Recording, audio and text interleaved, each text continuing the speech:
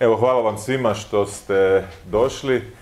Danas smo planirali govoriti o stvarima koje su obilježile 2022. godinu, naravno prije svega o onima koje su je politički obilježile, ali naravno da ne mogu početi bez onoga što je sve nas e, u zadnjih nekoliko tjedana razveselilo i iskoristiti i ovu priliku da čestitam našim e, nogometašima na odličnoj igri i još boljem rezultatu na nedavno završenom e, svjetskom e, prvenstvu. Ja se sjećam onih emocija i sreće od prije 24 godine kada smo prvi put na svjetskom prvenstvu osvojili medalju, ali ni ovaj put to nije bilo manje emotivno i manje drago, tako da svaka vam, svaka vam čast. 2022. su politički obilježile neke dobre, a i neke ne tako dobre stvari. Počet ću s onime što je bilo dobro. Naravno da smo svi sretni zbog e, Pelješkog mosta, svi smo sretni zbog toga što Hrvatska napokon e, ulazi i u Schengen i u euro i zahvalit ću se svim onima koji su u zadnjih e, više od deset godina radili na tome da Hrvatska ostvari te ciljeve. To nije uspjeh samo jedne osobe, samo jednog e, čovjeka, to je uspjeh brojnih ljudi koji su naporno i predano radili da se ti uspjesi ostvare. Ali isto tako moram govoriti i o stvarima koje su ovu godinu obilježile sa negativnog aspekta. Prvi je naravno ono što svatko od nas osjeća kada ode u dućan, kada ode u trgovinu, a to je inflacija, to je ovaj strahovit porast e, cijena.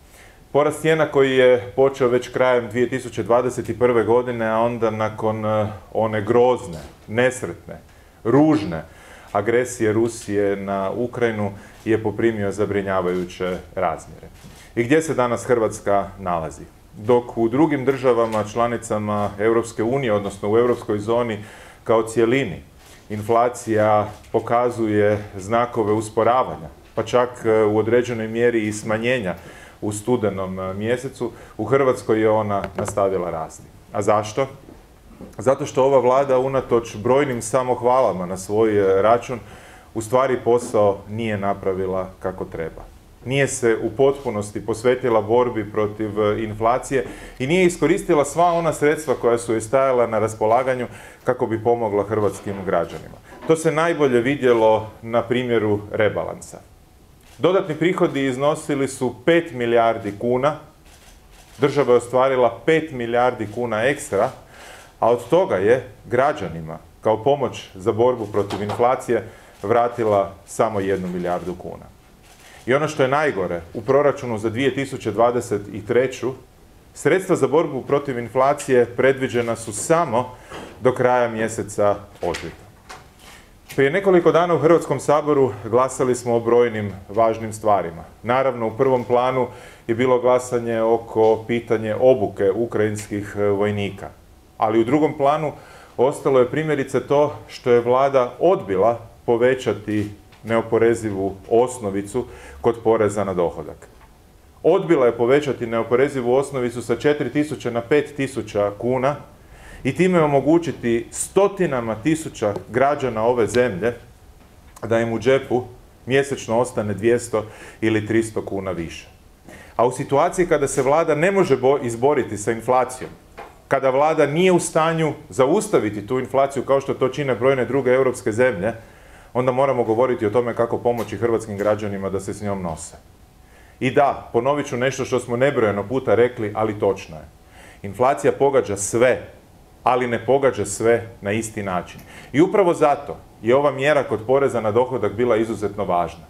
Pomoći ljudima, prije svega onima koji imaju manja primanja, koji imaju niža primanja, da im ostane više novca u novčaniku kako bi se sa inflacijom mogli nositi. SDP je to predlagao, vlada je to odbila.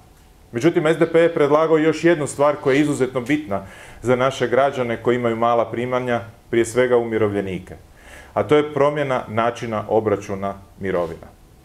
Još početkom 2022. godine predložili smo da se promijeni formula i da se inflacija koristi kao glavni faktor u ovako teškim godinama. Odnosno, da se mirovina obračunava ili prema porastu inflacije ili prema porastu plaće.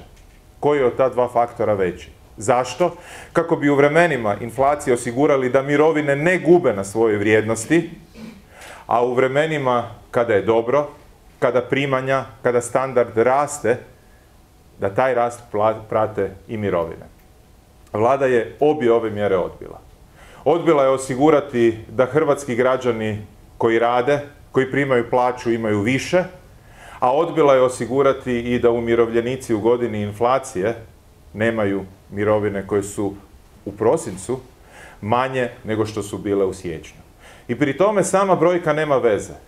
Brojka može rasti, ali ono što za novac kojeg ste zatekli na svom računu možete kupiti na kraju godine je manje nego na njenom početku.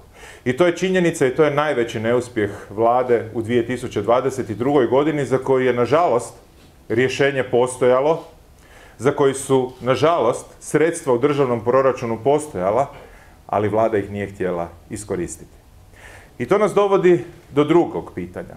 Opet glasanje prošlog petka, opet jedna stvar koja se direktno tiče standarda hrvatskih građana, a to je pitanje rada i zakona o radu.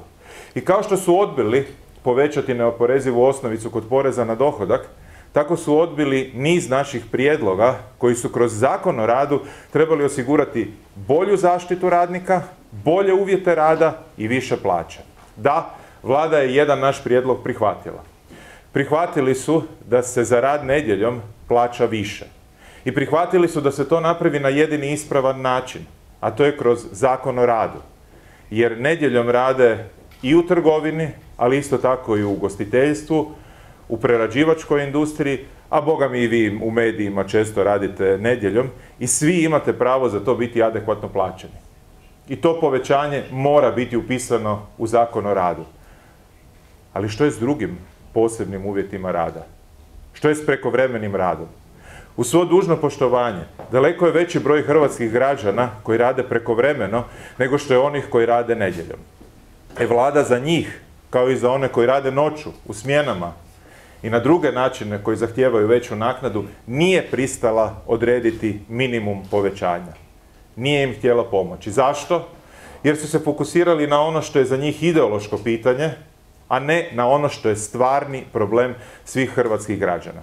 I kao što je kod poreza na dohodak propustila pomoći građanima da im plaće budu veće, tako je propustila i kroz ova uvećanja a mogli smo osigurati da već od 1. siječnja sljedeće godine građani imaju više novca na svojim računima. Kroz porez na dohodak barem 200 ili 300 kuna, a kroz ova zajamčena uvećanja za koje smo tražili da i u privatnom sektoru budu onakva kakva su ispregovarana za javni sektor, još barem toliko.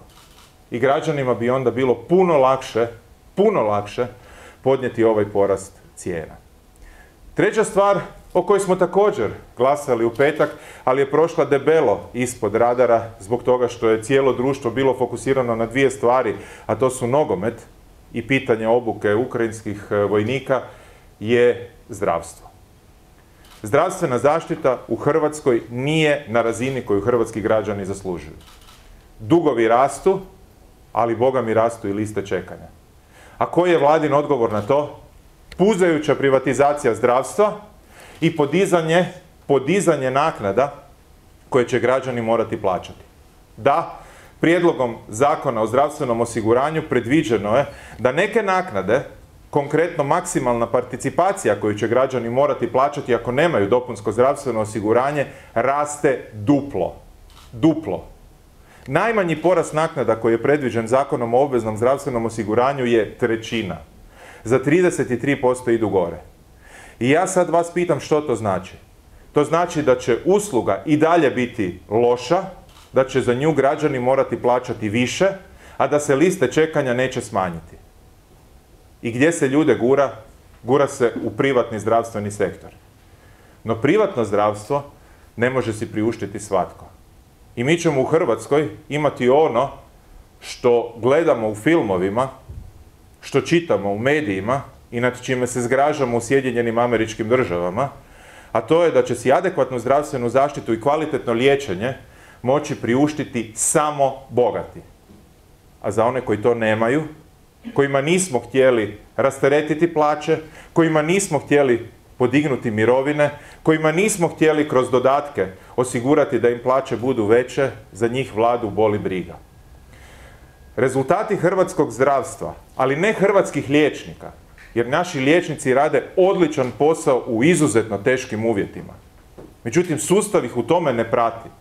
Rezultati se mogu svesti na tri indikatora. Jedan je jedna od najvećih smrtnosti u svijetu i Europskoj uniji od korone.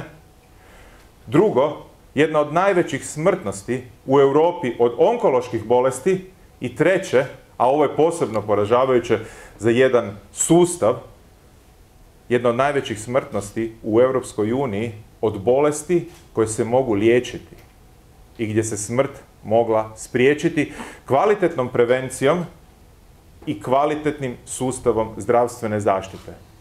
Ili prevedeno na jezik običnog čovjeka, skraćivanjem lista čekanja, da ljudi mogu doći na pregled prije nego što umru.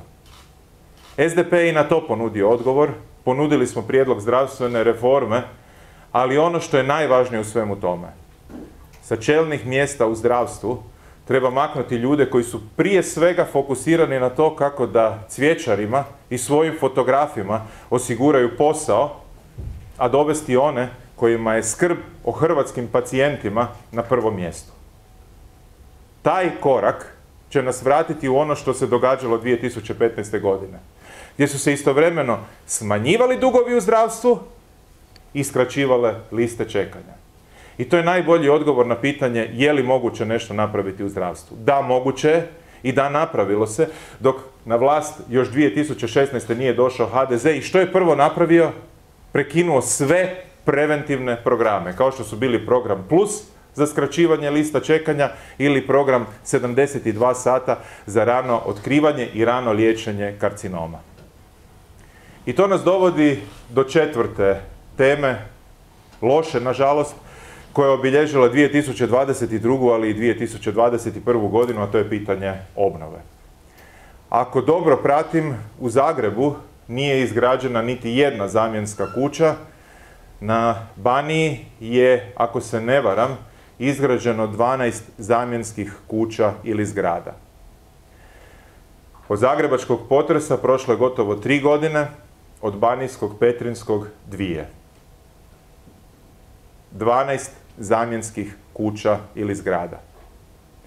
A novac je za to osiguran. Bilo u proračunu, bilo u sredstvima Europske unije koje su nam stavljena na raspolaganje. Ali vlada se time ne bavi. Vlada se time ne bavi. Ispod radara je malo prošlo, opet zbog svega onoga drugoga što se događalo u Hrvatskoj jedan zanimljiv članak koji je prošlog tjedna govorio o iskazu bivšeg ravnatelja SAFU-a pred državnim odvjetništvom, pred europskim istražiteljima, koji je opisao kako je funkcioniralo izvlačenje novca. Koji je opisao kako su u startu predvidjeli korekciju od 25% da bi prikrili to što planiraju izvući novac, u tom slučaju za aferu software. Ali potpuno je jasno da se tu radilo o sustavu. Ne o pojedinačnom slučaju, o sustavu. Jer gospoda iz HDZ-a, koji su okupirali sve, pa tako i europske fondove, ali Sabor nisu uspjeli prošloga tjedna osvojiti, gospoda iz HDZ-a su koncentrirani kako da novac izvuku, a ne kako da novac koji stoji na raspolaganju u ovoj zemlji iskoriste za dobrobit njenih građana. Zato smo prošle godine morali tražiti produljenje roka za iskorištavanje sredstava iz Fonda za solidarnost, a i dan danas ne znamo hoće li taj novac do lipnja 2023. godine biti iskorišten. Tragedija Hrvatske je da je novac iz fondova Europske unije Hrvatskoj dan na raspolaganje, ali ga vladajući ne koriste da pomognu građanima ove zemlje, već ga koriste da ga izvlače i da se njime bogate pojedinci koji su na svaki način povezani sa HDZ-om. I ne, kad ja o tome govorim, ne mrzim HDZ. Ja volim Hrvatsku i želim osigurati da novac hrvatskih građana, hrvatskih poreznih obveznika, ali i europskih poreznih obveznika bude iskorišten za ono za što je namijenjen. A to je da nam se pomogne da dosegnemo standard Europske unije. Jer ovim tempom, jer ovim tempom, jedini način da BDP po glavi stanovnika u Hrvatskoj, da potrošnja po glavi stanovnika u Hrvatskoj bude na razini Europske unije je da iz Hrvatske potjeramo još 400-500 tisuća stanovnika, pa da statistički dođemo na razinu nekih drugih zemalja. A mislim da ćemo se svi složiti da to nije rješenje.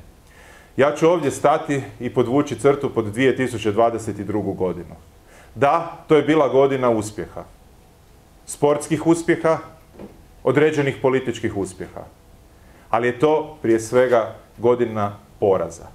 Poraza u kojem je HDZ hrvatskim građanima zabio niz golova i na kraju im se nasmijao u lice. Hvala i izvolite ako imate pitanja.